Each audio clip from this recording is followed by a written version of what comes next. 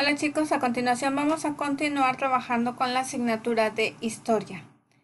Y veamos, ah, vamos a ver tres subtemas de eh, la secuencia de administración virreinal. Vamos a ver los primeros gobiernos de la Nueva España, audiencias gobernadoras y, e instituciones gubernamentales novohispanas. Así que vamos a iniciar con los primeros gobiernos de Nueva España. Bueno, pues eh, en 1523 Hernán Cortés fue nombrado capitán general y gobernador de la Nueva España. En ese momento él mandó a la reedificación de la antigua capital mexica. Asimismo, Hernán Cortés repartió tierras y encomiendas. Los encomenderos podían recibir y cobrar tributos de los pueblos indígenas que se les encomendaban. Los tributos se pagaban en servicios personales, en especie o trabajo, a cambio de evangelizar a los indígenas. En 1524 Hernán Cortés se dirigió a Ibueras que hoy es Honduras, para capturar a Cristóbal de Olid, quien había realizado una expedición sin su autorización. Para ello dejó a tres personas encargadas del gobierno de Nueva España. Sin embargo, esto trajo múltiples dificultades.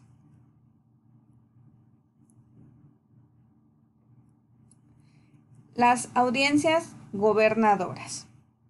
Para 1528 el monarca español envió a una audiencia para que gobernara Nueva España debido a las dificultades que ya se veían.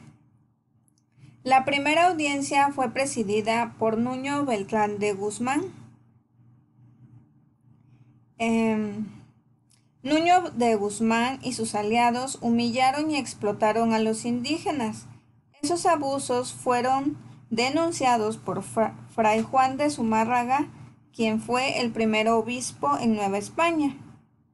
Posteriormente se nombró la segunda audiencia en 1531, presidida por el obispo de Santo Domingo, Sebastián Ramírez de Fuenleal.